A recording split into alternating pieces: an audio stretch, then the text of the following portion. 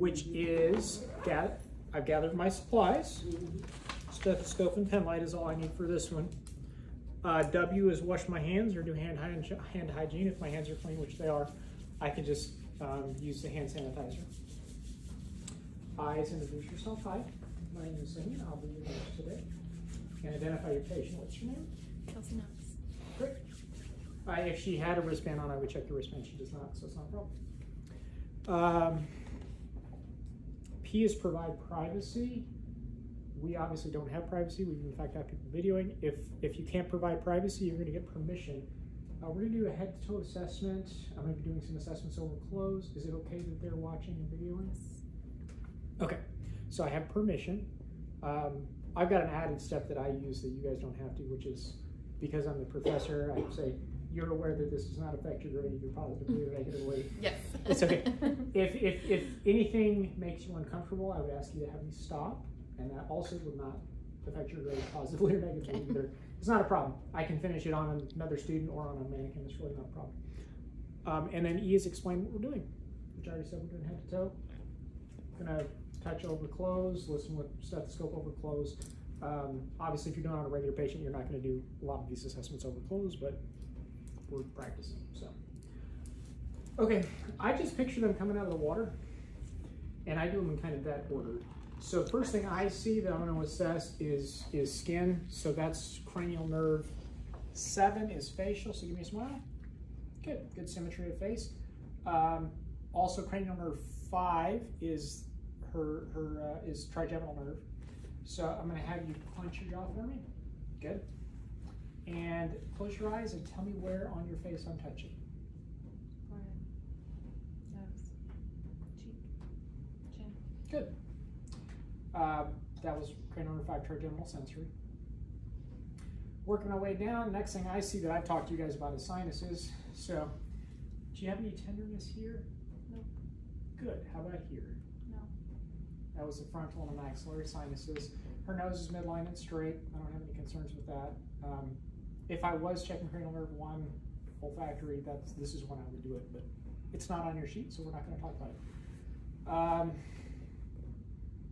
moving down, next thing I actually see is ears. so I'm inspecting the ears. We got good good symmetry for ears. I'm going to palpate the pinna. Does this hurt? No. How about here? Okay, and the tragus, that's normal. Um, and I want to see if the ears work. So I'm going to have you cover one ear and repeat what I say. Orange. And the other side. Banana. Good. Okay.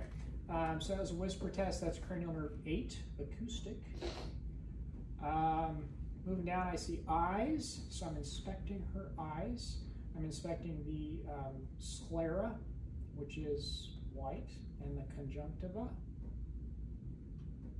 just a little bit pale, but not bad, uh, pink and moist. Um, let's see, so we've inspected the eyes.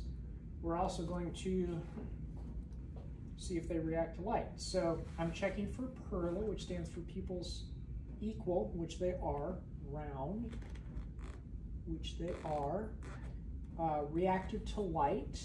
We're not going to check accommodating, so let's check reactive to light. So just look at my nose for me.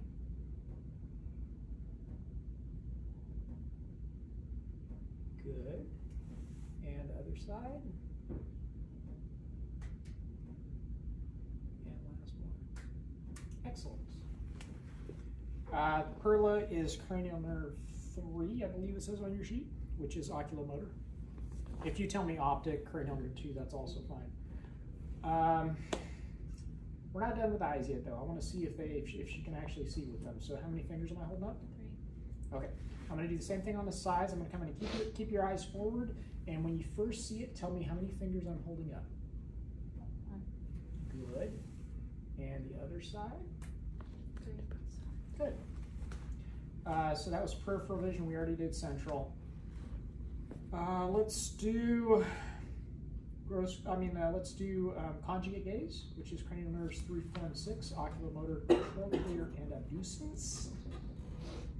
With just your eyes, not your head, I want you to follow my finger.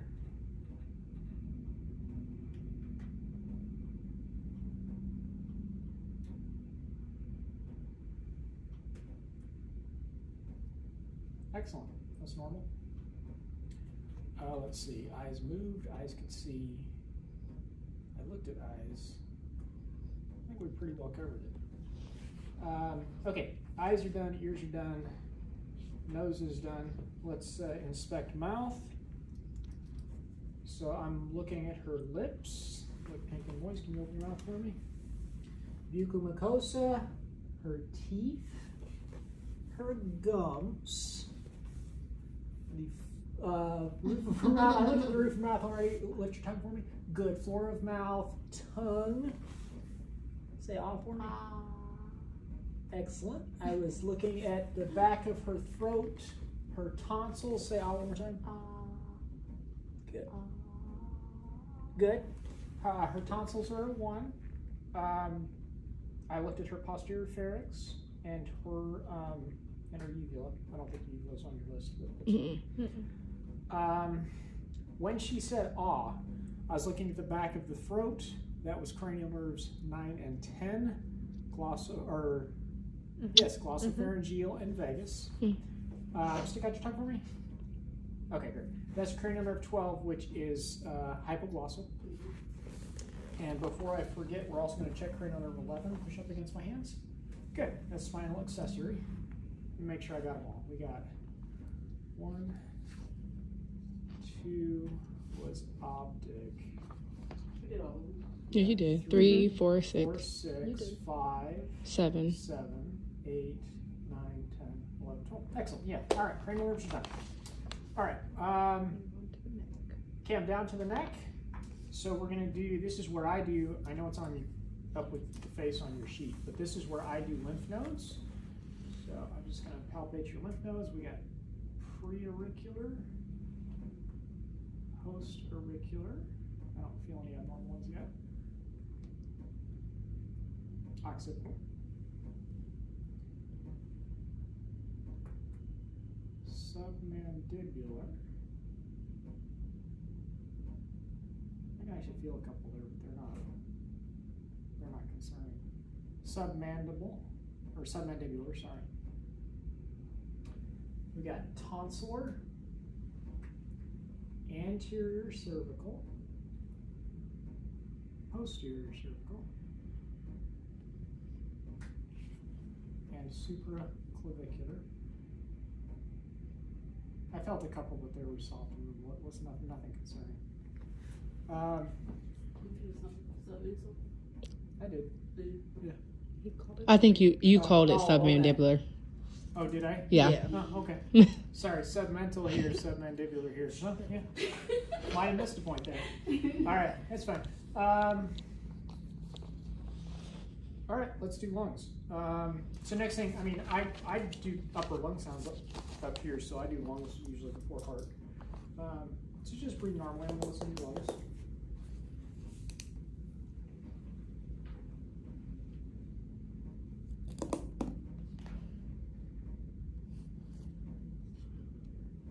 Can you take a deep breath for me? In and out.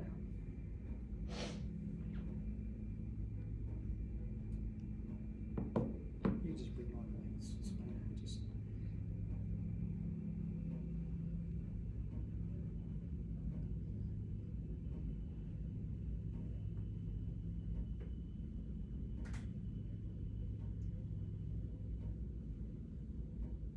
Can you lift your right arm for me?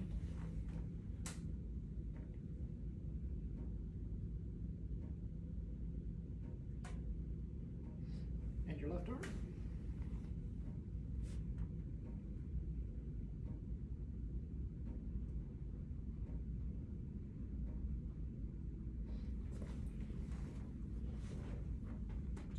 Thank you.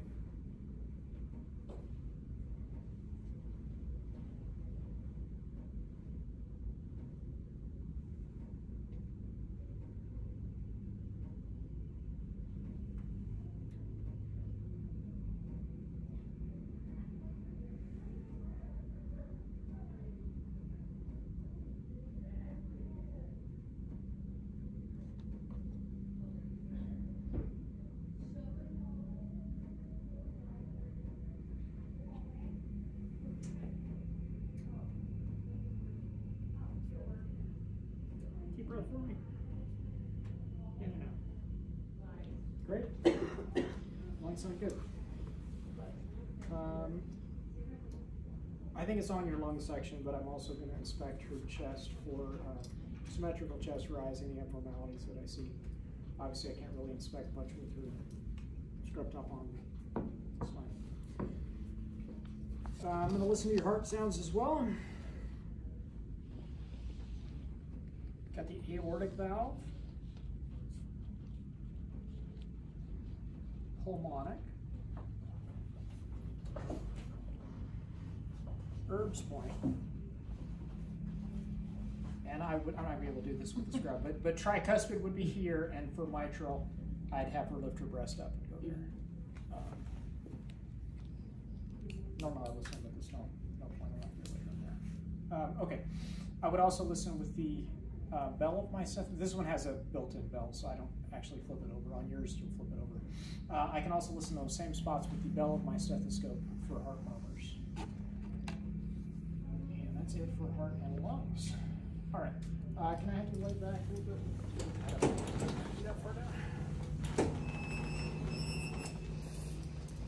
All right.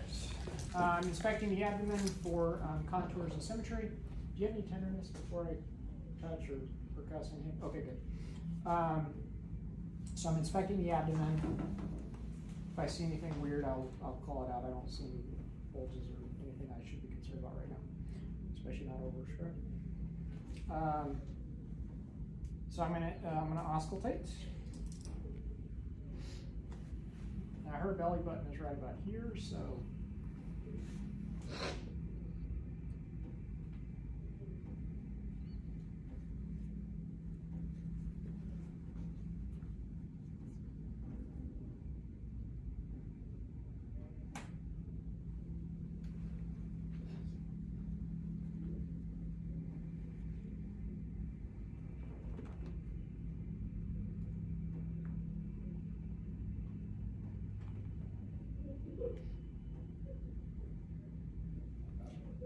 Basically, you just listen in each quadrant until you hear something, and some of these I'm hearing quite quickly, which is why I'm just moving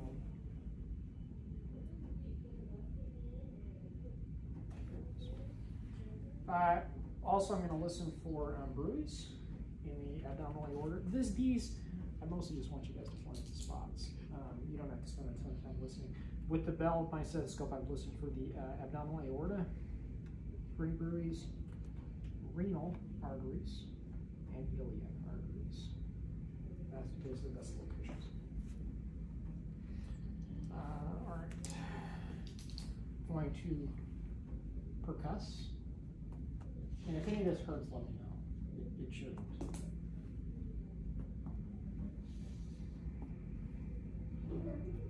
And I'm percussing for tympany and which would be tympany is normal sound, basically where I'm where I'm percussing. and you'll never percuss over clothes on a real patient, just so you know. it's ridiculous. Uh, do any of that hurt? Good. How about how about this? Tell me if any of this hurts, okay?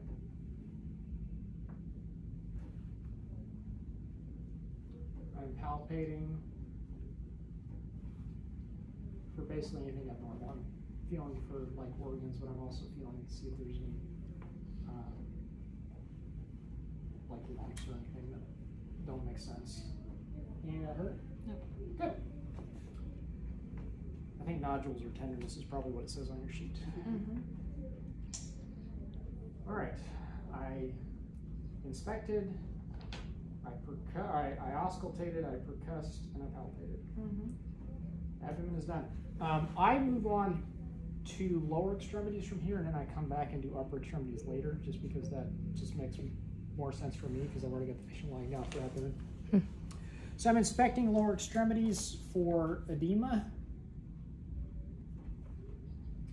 Maybe a little trace, but not nothing, nothing to worry about.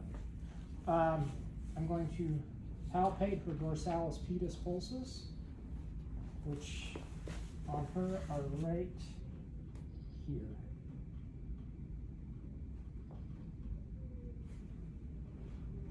And they're pretty good. You guys don't have to palpate for um, posterior tibialis, but I do just out of course to have it. It's a good thing to know how to do anyway. Um, gonna check range of motion of ankles. For all the range of motion stuff, you just have to show me one side. I know if you can do one side, you can do both. So we got um, plantar flexion, dorsiflexion, and we got some rotation in the ankle as well. Um, push, can you actually do both sides for this? Push against my hands, pull up against my hands. Good, five out of five strength for her ankles.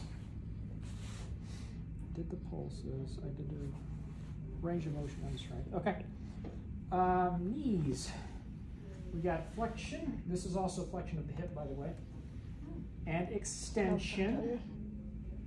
Um, push up against my hand. Pull down against my hand. Good. Five out of five strength for knee. Um, we already did flexion of hip. We don't do extension of hip. We've got adduction, abduction, and we've got internal and external rotation of the hip. Any of that hurt? Good. Not supposed to. All right. Um, this is for lower extremities. Go ahead and sit up for me. And we'll do the same thing with upper extremities. I'll do this arm so they can see better. Um, actually, let's start with your hands. I'm inspecting the hands, inspecting the joints. Do you have any pain here? Good. I'm also palpating the joints for pain. Uh, give me a squeeze. Harder.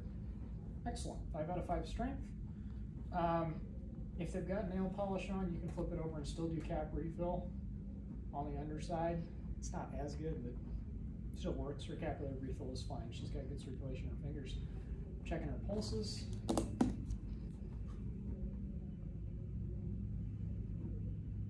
had it there for a second. There it is. Good. Good strong pulses on both sides. Uh, let's see. I inspected cap refill, pulses, strength. I feel like that might be it for hands. All right, let's do elbows. Strength. Uh, Sure. I did, I did strength. My I bad. did strength. Oops. So we've got extension of elbow, flexion of elbow. I want you to pull against me. Push. Good. Five out of five strength for elbow. Um, this is also where I try to remember to tell you I would check her biceps tendon, deep tendon reflexes, patellar, and Achilles tendons. Um, I didn't. Uh, that's all I want from you guys. I just want you guys to tell me that you would. It's it's really not a big deal. We didn't go into too much detail. Um, the other thing that I, I knew I was missing something with hands. The other thing I do with hands is I want you to put your hands like this, flip them over, back, and faster, and give me five. Excellent. That was cerebellar coordination. You passed. Nice. Uh, shoulder is already in a flexed position, so we're gonna try extension. Good. Adduction abduction. Tell me if any of this hurts. It's not supposed to. Okay.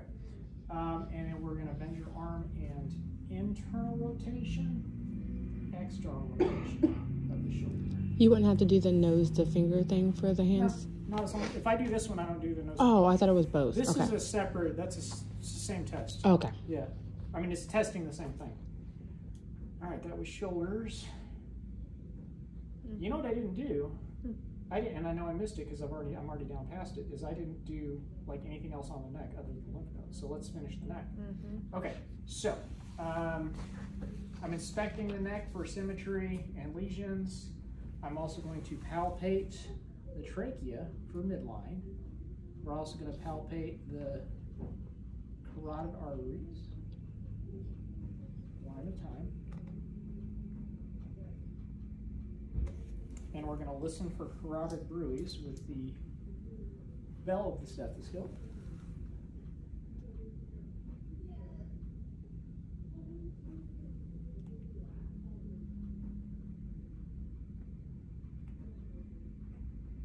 And if it distracts you, you hear them breathe, you can tell them to hold their breath.